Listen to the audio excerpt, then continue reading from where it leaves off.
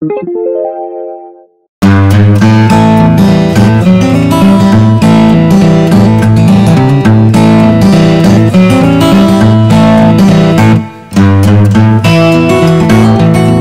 guys. So today's video um i feel like since it's like fresh in my head and everything. I just traveled with sophie for the first time. We went to a caribbean island um dominican republic we had a great time it was fun and i was like super nervous to bring her because you know never traveled with a baby before and I'm like, oh my gosh, how is this gonna be? How she's going how she's going to be, how she's gonna handle the flight, everything like that. So I wrote down here in front of me, I have a list of it's like top 10 things that I think either you should bring or what I thought was very helpful bringing with me to have for her. And um, some things that I did that I felt made our um, travel very smooth. And um yeah so the first thing first you got to get a passport. Sophia was five months when we traveled with her and i was like oh gosh i gotta get a passport for a five month old baby but you need a passport.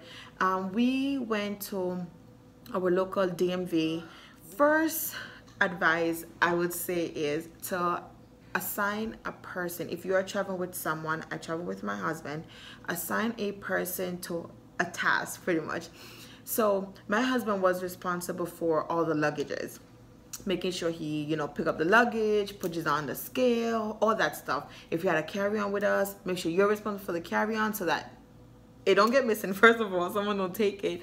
And also that you know there's not like confusion. Oh i thought you were going to get it. No i thought you picked it up. Stuff like that. So assign a person for that. I was responsible for all the documents and pushing the baby in the stroller. If we didn't push her in the stroller and i chose to like strap her on she would be strapped on to me. So at all times i was responsible for the baby and having all documents present. Um number two is to get a um gate check stroller bag. A lot of people just you know um gate check the strollers with no not putting a bag or anything like that or probably some people use plastic bags and stuff they do give you tags you know so you can so you can identify your your stroller or your your car seat whatever you're bringing. Car seat? Her car seat and stroller is like two in one so that was in there. And we also like sneaking like little extra things like i didn't want my neck pillow so i like put my neck pillow in there. So pretty much that I definitely think was really good to have. So that you know you know they be throwing people stuff and then you know scratching stuff up. So I'm glad that it was all in the bag. And they'll still give you a tag for that. It's airport um like certi certified. So they approve of you you know using that bag. Another thing was a lap bassinet. Now that was amazing for when she was sleeping that was really good because I was not about to pay for a third seat for a four month old baby. No. So we got it. We did sit beside each other.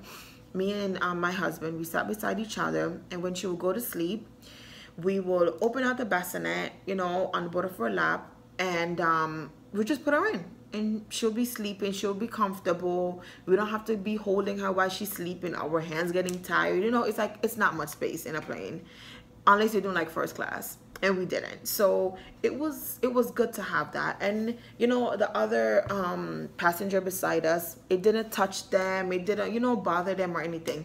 So a lap bassinet was amazing. It was it was good very good. I'm glad we we we um we definitely used that.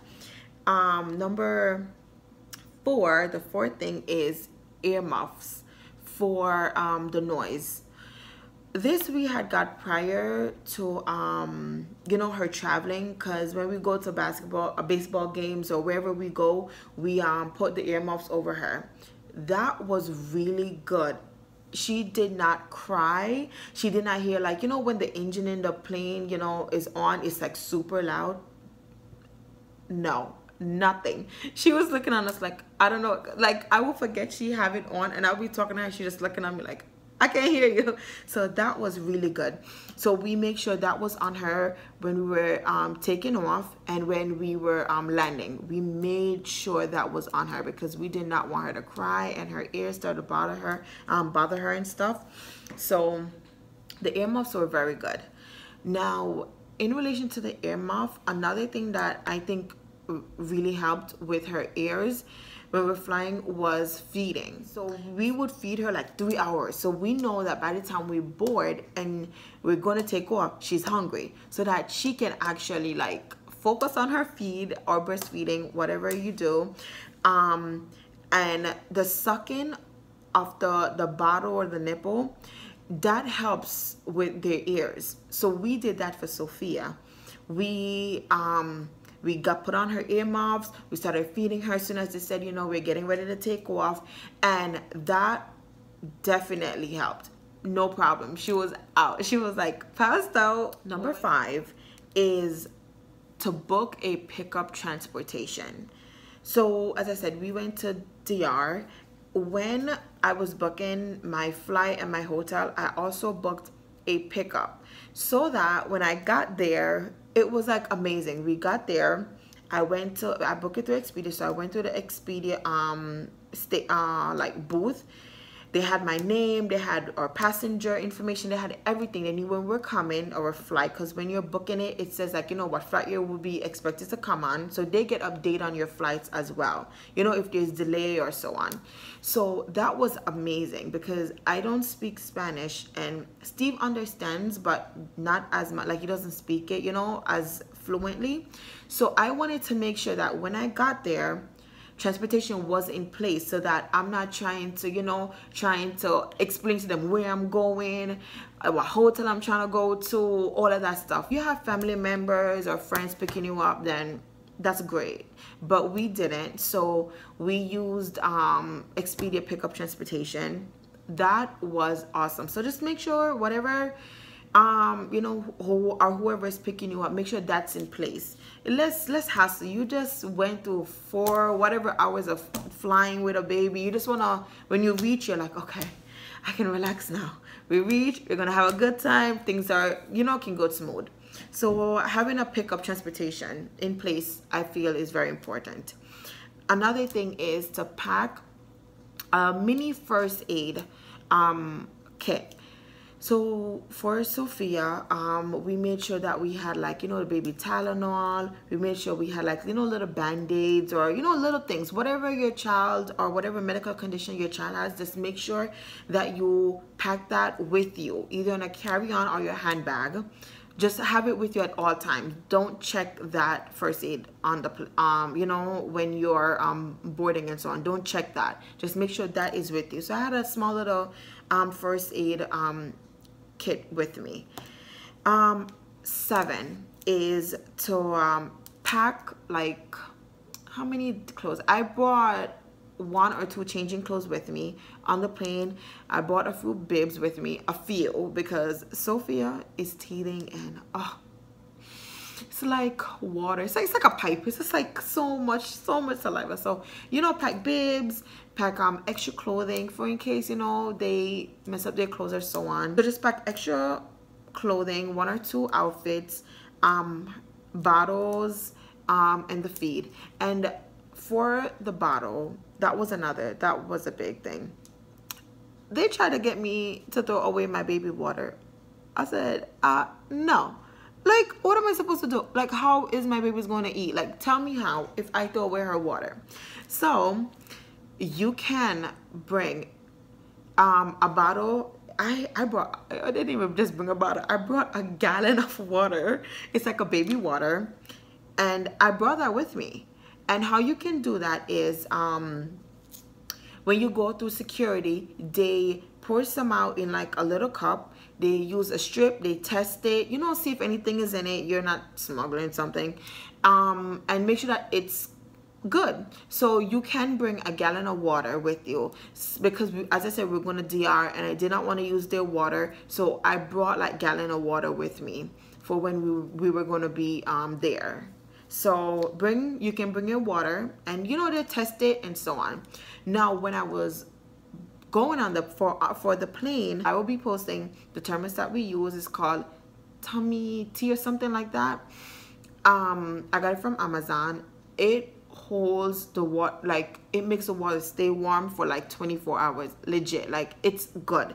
So we did that. If you breast if you breastfeed um you know you I, I breastfeed also. So I know like some of the stuff that you know you can put it in you can put it in like a bottle. Um bring a bottle or if you have it like a frozen bag you just pour it in the pour the hot water in the cap of the thermos because it's very big and you just put it in there and it dips. So that is one thing. Oh sophie woke up. Oh, hold on. I have to go get her. So and she's gonna be joining us in this video then because she's okay guys. So we're back and sophie is here. Sophie say hi. We also had like it's it has three it has three sections to it. It's like a little it's like a little traveling um kind of container for the formula. So we pre-poured everything in three different sections that's three different feed so that you know it was easy. We popped the cover pour it in the bottle the water it was easy. We didn't have to bring the whole you know um can with us on the plane. So we traveled early in the morning so finding a good time what's best for like you know you your um the baby's schedule sleeping patterns and so on. So the time of traveling definitely i'm um, taking consideration. Um let's see. Other than that i think those are like some tips and some things that we brought with us when traveling with Sophia for the first time. And she had an amazing time right? You had an amazing time you had an amazing time. You're not gonna give them a smile. Give them a smile. Give a smile. Give them a smile. Say hi. She's looking on the face. She's looking on the face. Say hi, Sophia. Sophia says hi. Yes. so thank you guys for watching. And um yeah. Say that's it. Oh, another thing dress light. Even the baby like don't even bother put on the shoes on them and stuff like that. Sophia first she first of all she hates having shoes on. So i had onesie on her because i was like you know easy access pop changed and that's it. You know instead of taking off like a pants a sweater a this and no. Like i just had her onesie on and it was like easy for us to change her. Ooh, yes. Oh see? Julian julian all over me. So dressing light was is very good very very good. Right? Yeah. Yeah. So uh thank you guys for watching. Uh subscribe and share this video. Um comment if you um you don't have any questions or you just like the video you want to say girl you did a great job. Right? Yeah. So uh yeah Sophia will be featured in some other videos even when it's not expected. So yeah, bye-bye. Bye-bye. Thank you guys for watching.